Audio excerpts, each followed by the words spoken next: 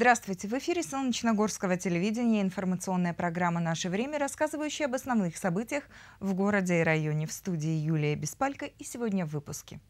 Возродить престиж. Совет директоров намерен омолодить коллективы солнечногорских предприятий. Мы приведем на заводы большое количество старшеклассников, чтобы они своими глазами увидели, что работать на предприятии, работать рабочим – это не страшно, это не, не, не престижно. Успешный дебют солнечногорские кулинары заявили о себе на областном чемпионате.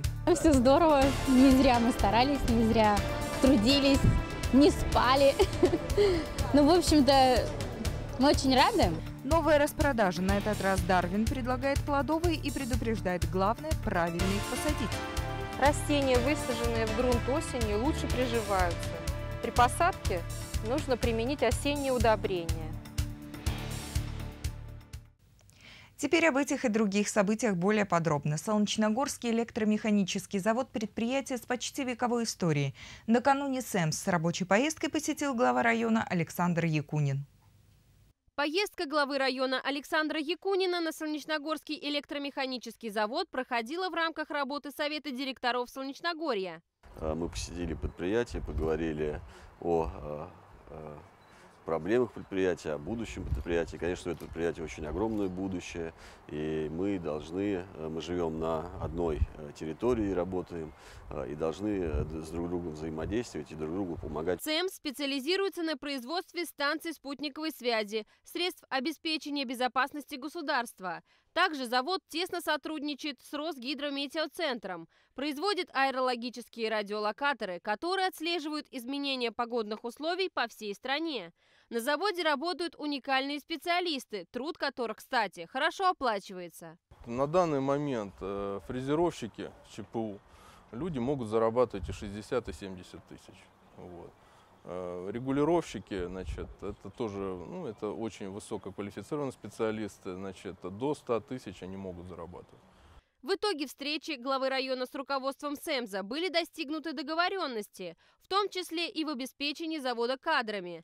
На данный момент администрация Солнечногорья разрабатывает муниципальную программу, цель которой – повысить имидж рабочих профессий мы приведем на заводы большое количество старшеклассников, чтобы они своими глазами увидели, что работать на предприятии, работать рабочим – это не страшно, это не, не, не престижно, и как бы еще и можно хорошо заработать. То есть, кроме того, мы готовим совместно с руководителем предприятия, вот сегодня нам директор нас заверил, что он готов более 10 наших э, школьников, которые хотят поступить в этом году в институты, оплатить им образование с условием того, что и заключить с ними контракт, с условием того, что они потом возвратятся на работу сюда. Татьяна Бауэр, Евгений Корнилов, Солнечногорское телевидение, информационная программа «Наше время». 18 сентября на расширенной планерке в районной администрации были рассмотрены вопросы формирования бюджета района, проблема очередей в детских садах и упразднения второй смены в школах, долги по аренде. Также было представлено новое средство борьбы с нарушителями правил парковки автотранспортных средств.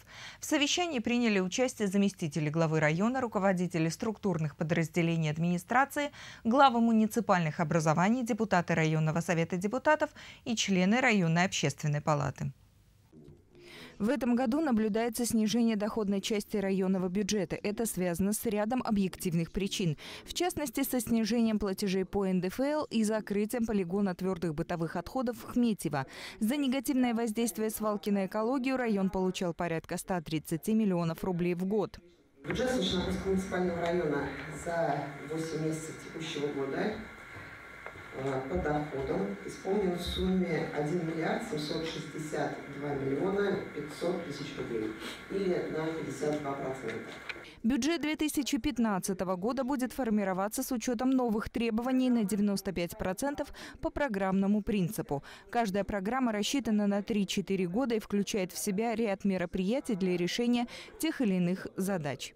Для жителей э, района это будет понятно, потому что по программе э, мы всегда можем сказать, что э, сегодня у вас сделается, там, если взять дороги, сегодня сделается там одна дорога, завтра другая, там в 2015 году сделается вот это, в 2016 году вот это. Конечно, картинка вся, она будет понятная. За последние два года в районе увеличилась сумма долга по арендной плате со 137 до 524 миллионов рублей. В планах Комитета по управлению имуществом взыскание долгов через судебные органы, выявление всех должников и восстановление электронной базы всех арендаторов. Самая э, крупная задолженность имеется э, в трех поселениях э, – Солнечногорск, Андреевка и Смирновская. Две трети долга каждому из поселений свыше 100 миллионов рублей. Не хватает в районе детских образовательных учреждений, особенно в поселках Андреевка, Голубое и Солнечногорске. Для решения этой проблемы будут использоваться группы временного содержания. В собственность района переводятся здания бывших детских садов, которые использовались не по назначению. На данный момент в районе более 10 тысяч детей, из которых почти 6 тысяч ходят в 34 детских сада. Каждый год нужно обязательно э, понимать для себя, что порядка 150-120 деток рождаются и встают на очередь. То есть это те перспективы, с которыми нужно подходить к строительству и к планированию ваших территорий, к застройке, которую вы планируете. Со вчерашнего дня в районе начала действовать новая технология контроля соблюдения правил парковки автотранспорта. Нарушение будет фиксировать специальный видеомодуль, установленный на патрульном автомобиле. Полученные данные будут обработаны и вместе с квитанцией на штраф предъявлены владельцу автомобиля. Я хочу доложить, Александр что в настоящее время мне поступает значительное количество звонков от жителей в части, касающейся нарушения правил парковки на газонах и на вновь сделанных в непосредственной близости от вновь сделанных детских площадок. Также на совещании были подведены предварительные итоги прошедших выборов. Обсуждена будущая работа недавно созданного районного совета директоров промышленных предприятий и другие вопросы. Юлия Беспалько, Владимир Киселев, Солнечногорское телевидение, информационная программа «Наше время». В Солнечногорье приступили к созданию туристических маршрутов и зон отдыха. Об этом стало известно на заседании членов районного координационного совета по развитию туристического и гостиничного бизнеса. Встреча состоялась 17 сентября на территории пансионата «Морозовка Газпром». Совет создали недавно при районной администрации. Он призван представлять интересы местного профильного бизнеса. На заседании Координационного совета по развитию туристического и гостиничного бизнеса в Солнечногорье присутствовали представители районной власти, местных гостиничных и туристических организаций и Министерства культуры Московской области. Присутствующим сообщили, такие встречи будут проходить раз в три месяца. Председателя Координационного совета будут избирать на один год. Представитель регионального Минкультуры рассказала о работе областного правительства по развитию туризма в Подмосковье. Министерство культуры Московской области разработало программу «Культура Подмосковья» э, на период 5 лет, с 2014 по 2018 год. А в программе развития туризма Московской области э, предусмотрены как раз вот, ну, мероприятия по развитию туризма. Э, преследует выполнение трех задач – как по развитию рынка туристских услуг, развитию внутреннего визного туризма на территории Московской области, также продвижение туристского продукта Подмосковья на мировом и внутреннем туристских рынках и, в частности, развитие туристской инфраструктуры. Конкретно в Солнечногорском районе уже создаются туристические маршруты. Планируется развитие зоны отдыха, прилегающей к озеру Сенеж. Первая точка – это будет городской парк. Здесь мы хотим сделать место под э, э, хороший пляж, хорошую там охранную зону э, для семейного отдыха, там должен быть ресторан и так далее. Инфраструктура зоны отдыха будет неполной без гостиницы, считают члены Координационного совета.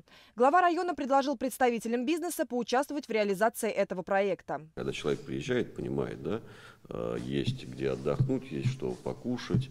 Понятно, что это должно быть и для э, простых жителей, там, и для среднего класса, там, и для, там, я не знаю, там, да, бизнес, ВИП, это уже, ну, что-то все-таки должно быть. То есть сделать некую такую э, территорию э, отдыха. На заседании обсуждались и другие вопросы. Оксана Федяшина, Екатерина Фокичева, Владимир Киселев, Солнечногорское телевидение, информационная программа «Наше время». Жители Солнечногории главу района Александра Якунина благодарит президент Всемирного благотворительного фонда «Авиация детям», заслуженный летчик-испытатель СССР, летчик-космонавт СССР, герой Советского Союза Игорь Петрович Волк. Повод – содействие фонду в формировании гуманитарной миссии жителям Донецкой и Луганской республик в связи с обострением гуманитарной ситуации на юго-востоке Украины. В тексте благодарственного письма, в частности, говорится – Уважаемый Александр Владимирович, мы с вами в период с июня по август 2014 года доставили братскому славянскому народу в города Славянск, Краматорск, Донецк и Луганск около 45 тонн гуманитарного груза, продуктов питания, медикаментов и одежды. Выражаем вам свое уважение и передаем глубокую признательность от администраций Донецкой и Луганской народных республик и благодарность жителей региона за поддержку, неравнодушное отношение к гуманитарным аспектам российско-украинских отношений. С пожеланиями мира и добра президент Фонда «Авиация детям», заслуженный летчик-испытатель СССР, летчик-космонавт СССР, герой Советского Союза Игорь Волк. 22 сентября – Всемирный день без автомобиля. По этому поводу районная администрация готовит акцию, в рамках которой в городе и районе планируются беседы со школьниками по проблемам экологии и загрязнения воздуха в городах, в том числе связанным с избыточным количеством автомобильного транспорта. Совещание с руководителями предприятий, осуществляющих перевозку пассажиров по вопросу улучшения качества транспортного обслуживания на маршрутах. Также районная администрация готовит предложения по обеспечению развития общественного транспорта, повышению пропускной способности уличной дорожной сети населенных пунктов Солнечногорья. Ну а во Всемирный день без автомобиля 22 сентября районные власти предлагают автомобилистам отказаться от использования личных транспортных средств в пользу общественного транспорта, велосипедов и пеших прогулок. И мы продолжаем. 17 сентября вновь избранный Совет депутатов городского поселения Ржавки избрал из своего состава главу поселения. Кроме этого, депутаты утвердили новую должность в структуре местной власти. На голосование по выборам главы городского поселения Ржавки депутаты выдвинули всего лишь одну кандидатуру, которую единогласно поддержали. Голосуем. Единогласно. Ставлю все на голосование. Итак, главой поселения уже в третий раз стала Любовь Игнатова.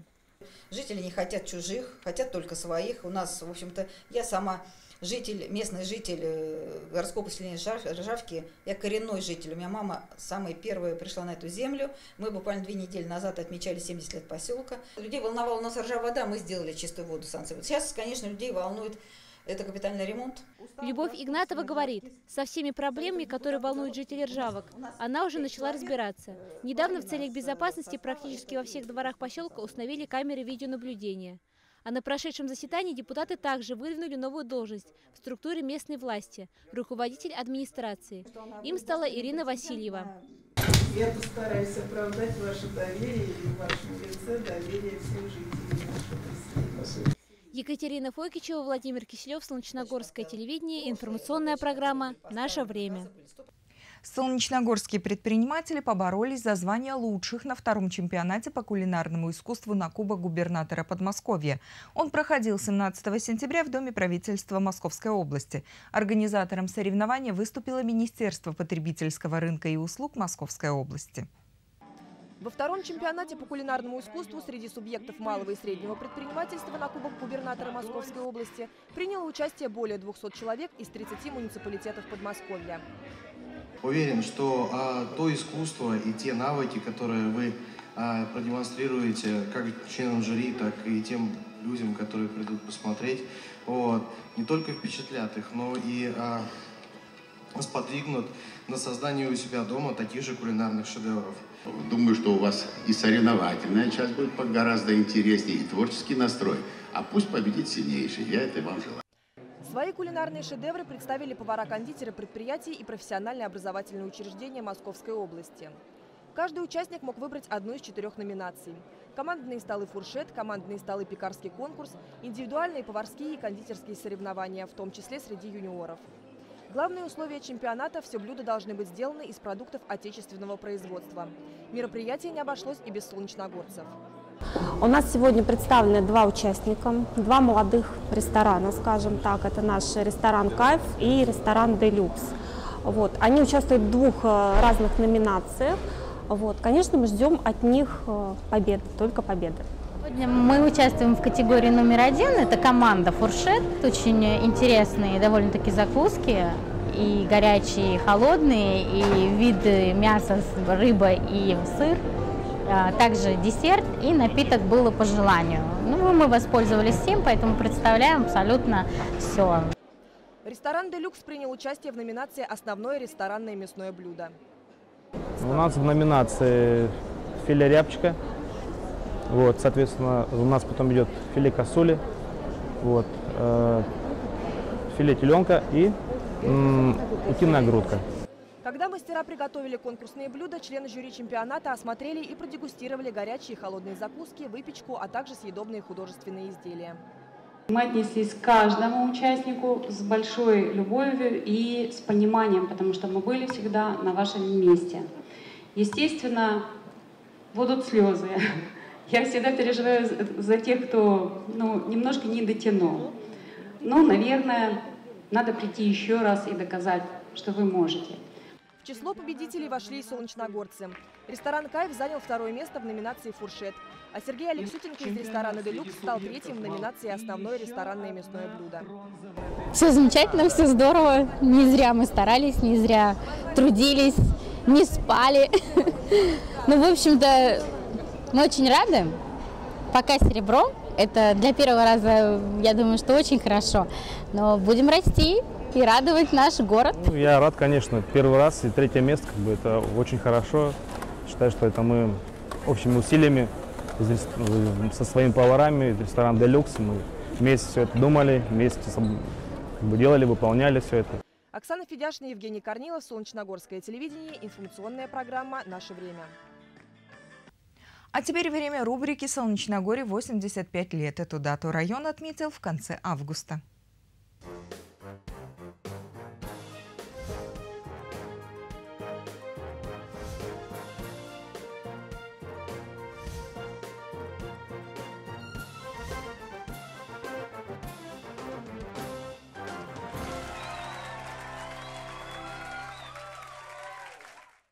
Сегодня в деревне Шахматово в социально-оздоровительном центре Орлова побывали ученые, участники программы «Деревья. Памятники живой природы». Посещение состоялось в рамках общероссийской программы по выявлению деревьев, представляющих культурную, историческую, эстетическую ценность. Предметом интереса гостей Орлова является местная старая лиственница. С помощью современного оборудования ученые установят возраст уникального дерева, его состояние и дадут рекомендации по его сохранению. О шахматовской лиственнице участникам программы «Деревья-памятники живой природы» сообщили сотрудники оздоровительного комплекса «Орлова». Благодаря своему немалому возрасту и размеру дерево внесено во Всероссийский реестр «Памятники живой природы». Поскольку лиственница дерево уникальное по своим качествам, у сотрудников комплекса «Орлова» есть гипотеза. В XVIII веке, в период правления императрицы Анны Иоанновны, был всплеск интереса к лиственнице как к дереву, из которого строили корабли. И в это же время строился Екатерине Ленинский канал. Может быть, это все какие-то крупицы единого исторического полотна, которое вот мы можем расшифровывать сегодня. И, может быть, какой-то существовал фантастический план и здесь начать строить корабли, и для этого именно вот начать выращивать лиственницы. Но для начала надо установить, сколько лет дереву, и если не меньше 300, то гипотеза вполне состоятельна. Лиственница растет на территории бывшего усадебного парка дворян Орловых. До революции у них здесь было богатое поместье. Барский дом был восьмикомнатный деревянный, и в нем был даже телефон, как рассказывают местные жители. Ученые для начала измерили охват дерева. Он составил 544 сантиметра. Затем высоту 37 метров. Установили GPS-координаты. Осмотрели дерево визуально и приступили к более точным измерениям. Немецкий прибор резистограф сверлит ствол тоненьким сверлом, полтора миллиметра толщиной, 45 сантиметров длиной. То есть погружается внутрь ствола и по плотности древесины мы определяем, есть ли гниль в стволе или нет, и если есть, то процент гнили. Программа позволяет узнать. Такое тонюсенькое сверло совсем. Поэтому для дерева это безопасно абсолютно.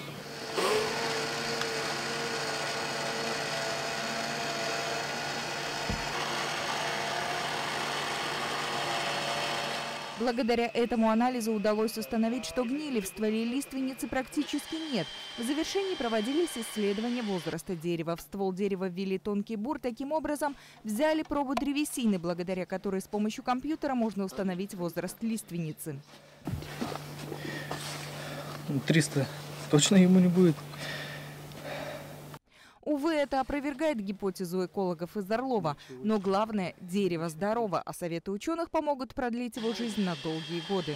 Эта лиственница интересна тем, что она, во-первых, двуствольная, это не часто встречается среди таких деревьев, плюс у нее довольно-таки хороший диаметр, это почти 2 метра.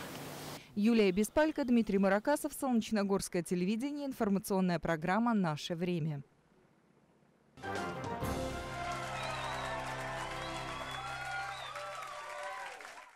В садовом центре «Дарвин» богатый выбор плодовых деревьев осенней посадки. И самое главное, они продаются по доступным ценам. Подробности в нашем сюжете.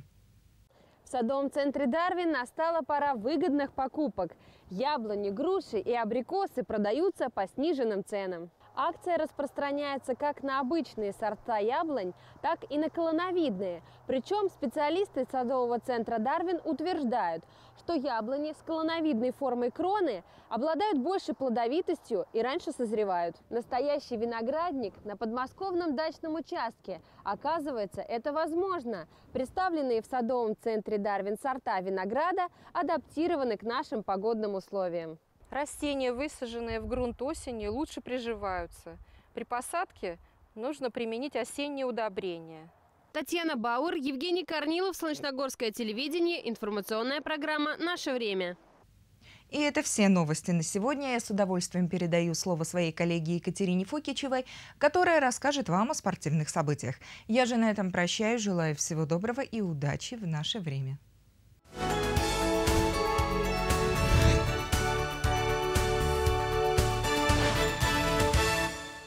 Здравствуйте, уважаемые телезрители! В эфире рубрика «Спортивное обозрение». Солнечногорский триатлонист Дмитрий Захаров привез очередную медаль с чемпионата России, который проходил в Воронеже с 5 по 7 сентября. Юноша стал призером своей возрастной категории 2000-2001 года рождения. Как прошли эти соревнования для спортсмена и многое другое узнаете из нашего репортажа. Дмитрий уже не в первый раз участвует в чемпионате России. Есть в его коллекции награды высшего достоинства. В этом году у нашего спортсмена серебро, тоже достойный результат. На чемпионате России Дмитрий преодолевал дистанцию 308,2. 300 метров плавания, 8 километров велогонка и 2 километра бег. Дистанция хорошая, все продумано, организация отличная, соревнований. Все на высшем уровне. Почему проиграл, как думаешь? Виновата то, что я не очень хорошо прохожу транзитку. Где-то какие-то помехи есть, что-то мне мешает, что-то я, не, что я не могу. Транзитная зона – это площадка перехода с одного этапа на другой. В транзитной зоне стоят велосипеды, кроссовки и вся необходимая экипировка. Своему основному сопернику Захаров проиграл всего пару секунд. В триатлон Дима перешел из плавания пять лет назад, когда заслуженный тренер России Анатолий Шахматов взял спортсмена под свою ответственность. Из трех видов состязаний в триатлоне Дмитрию больше всего нравится плавание и бег. Плавание и бег – это самые хорошие виды спорта, самые такие те, которые мне даются больше всего, которых у меня больше всего получается. Велосипед, тренировки, техника, и тоже все хорошо будет. В свои 14 лет Дима добился значительных успехов в спорте. На его счету множество побед в различных соревнованиях. За это триатлонист благодарит своих тренеров. Мне помог на, пер на первой части моего спортивного роста Зеленый Евгений Петрович, а завершил, ну, продолжает этот путь Шахматов Анатолий Павлович. Очень много знает, очень много умеет. Чемпион России, чемпион мира, мастер спорта по пятиборью, триатлону, плаванию. Очень хороший человек сам по себе. В будущем Дима Захаров хочет посвятить свою спортивную карьеру плаванию и поехать на Олимпиаду. Екатерина Фокичева, Владимир Киселев, Солнечногорское телевидение, спортивное обозрение.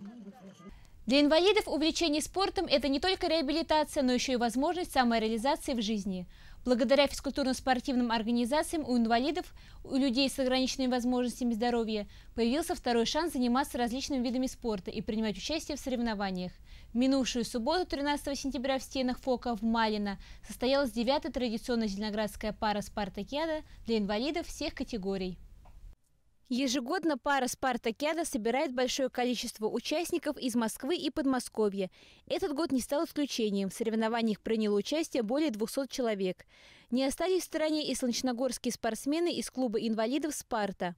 Участники соревнований смогли проявить себя в таких видах спорта, как дартс, пауэрлифтинг, гиревой спорт, настольный теннис, бросок в кольцо, бег на 100 метров и другие.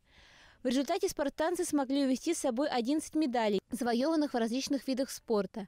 Золото пара «Спартакиада» досталось нашему земляку Денису Литвинову в забеге на 100 метров, а Николай Садиков, помимо первого места в бросках в кольцо, получил серебряную награду в соревнованиях по дартсу.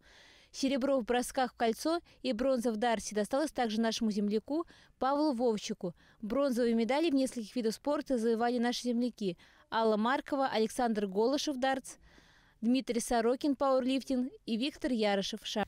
Воровский клуб «Контакт» за свои 25 лет воспитал немало достойных мастеров под дзюдо. Воспитанники клуба постоянно завоевывают призовые места в различных соревнованиях.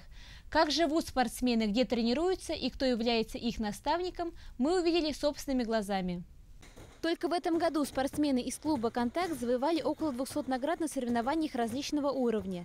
Из них 24 раза спортсмены поднимались на высшую ступень пьедестала на международных соревнованиях. И 37 раз были удостоены медали выше пробы на всероссийских соревнованиях. У нас было три международных сбора, и мы объехали 11 э, стран. Ребята побывали в 11 странах. Как на юношей, так и на девушек тренер возлагает большие надежды. В клубе «Контакт» не только самые спортивные девушки, но и самые красивые, считает тренер. Посмотрите на девочек, они красивые. Белое кимоно, белая одежда, причесанные, красивые. Они выходят на ковер, на них приятно смотреть. Я когда захожу в зал, на соревнованиях э, идет разминка, я вот так вот зал обведу руками, э, глазами, я говорю, ну, наши-то самые красивые. У многих дзюдоистов из контакта огромное количество медалей. Даже можно сбиться со счета. Но для каждого спортсмена есть самые ценные. Это международные турниры, ЦФО, Кубок Европы, Россия. В мае мы ездили в Афины. Там я заняла первое место. Нас приняли очень гостеприимно. Понравилось. Было много народу из различных стран. Многие из наших команд заняли призовые места. Ну, в общем, все понравилось. Парни из «Контакта» тоже имеют множество наград. На первенстве России по самбо был в пятерке. По дзюдо самые такие запоминающиеся. Это, это командные соревнования в Санкт-Петербурге. Очень сложные соревнования были, но мы там стали первыми. В клубе «Контакт» тренируются дзюдоисты разного возраста, от малышей до взрослых спортсменов. Я э, с, там, с 14 лет пришел в секцию в Москве, и до сих пор занимаюсь значит, вот этими любимыми видами спорта, который дает мне и тонус жизни, и настроение, и здоровье, и, так сказать, все, что нужно человеку в моем возрасте. Все ребята, которые вышли именно из этого зала, именно из контакта, ребята в жизни сложившиеся, в жизни удачные, которые получили высшее образование, которые устроены в жизни и, самое главное, социально востребованы. Это самое приятное для меня как педагога, как для тренера, для человека, который с этими детьми проводит ну, большую часть своей жизни. На самом деле я с ними нахожусь больше, чем многие родители. За безотказную помощь и поддержку Евгений Гуськов благодарит Комитет по делам молодежи и спорту Солнечногорского района, охранное предприятие «Орден мужества», фирму АТВ и всех людей, имеющих отношение к его деятельности. Впереди ребят ждут очередные соревнования ближайшее будущее э, наши друзья из Латвии нас зовут провести сбор с ними в Юрмале. В э, ближайшее будущее у нас планы, э, ну не знаю, сбудутся, нет, это Варшава. Большой турнир, национальный кубок Варшавы. Питерский турнир международный, золотой лист. За свои 25 лет спортивный клуб «Контакт» воспитал множество мастеров, которыми мы вправе гордиться. Мы любим дзюдо! Екатерина Фокичева, Владимир Киселев, Солнечногорское телевидение, спортивное обозрение. А теперь наш анонс. 21 сентября в 11 часов дня на стадионе «Металлург» состоится открытый легкоатлетический кросс «Золотая осень». В 12 часов дня там же пройдет девятый открытый массовый легкоатлетический забег на призы главы Солнечногорского района «Сенежская миля». Ждем всех желающих. И это все новости спорта на сегодня. И не забывайте, что спорт – это единственное зрелище, финал которого никогда не известен. Увидимся через неделю.